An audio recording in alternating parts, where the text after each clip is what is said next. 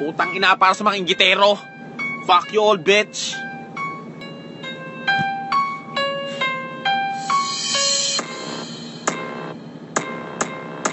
Putang ina nyo, mga inggitero. Di nyo matanggap na sikat ako.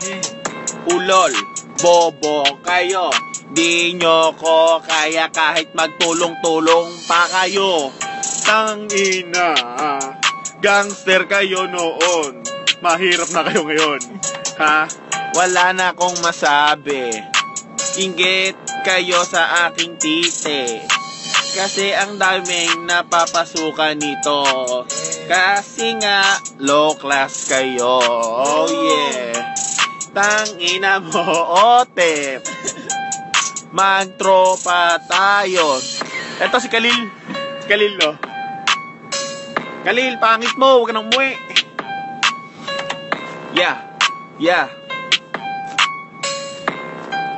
Tangina. Hindi to. Ay. Hindi to online lambingan. Umalis kay dito.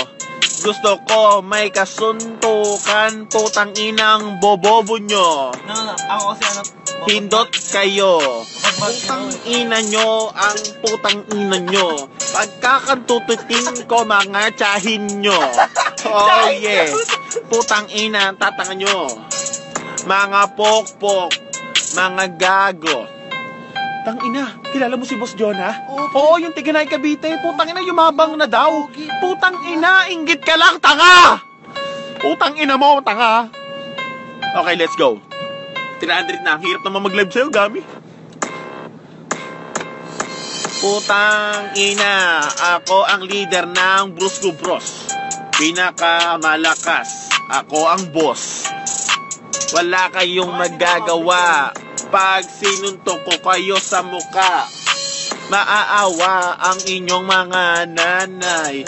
Tapos titirahin ko sila sa puwet. Kasi sila ay mukhang tanga. Mamaya na nga. Gege, isa pa, isa pa, isa pa. Putang ina nyo. Ang hirap naman mag-live sa'yo. Gamit 400 pa lang. Putang ina ako si Jonah Renz. Tingnan